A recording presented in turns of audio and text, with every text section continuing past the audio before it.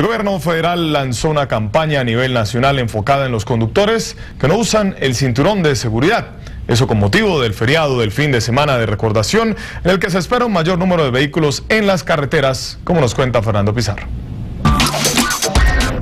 Con avisos como este a días del primer feriado largo de la temporada de verano, las autoridades federales lanzaron una campaña en que 10.000 oficiales de policía controlarán el uso del cinturón de seguridad.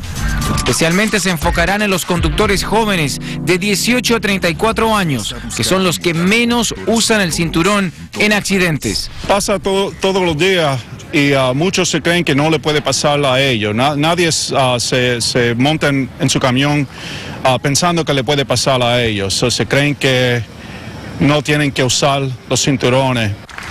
La campaña también se enfocará en los que simulan de diversas maneras ponerse el cinturón, como lo demuestra este conductor. Especialmente um, cuando salen a los bars y los clubs, no, no ponen su cinturón. El 84% de los conductores en el país se pone el cinturón, pero aún hay quienes no lo hacen. Básicamente el año pasado más de medio millón de tickets fueron dados a la gente durante esta campaña, esta temporada, por no usar el cinturón de seguridad.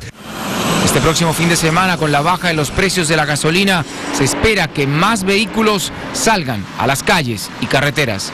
Y para destacar la importancia de esta campaña, aquí hay una estadística alarmante. Hace dos años, en el fin de semana del Memorial Day, murieron 241 personas en accidentes de tráfico. El 70% no llevaba puesto el cinturón de seguridad. Desde Washington, Fernando Pizarro, Univision.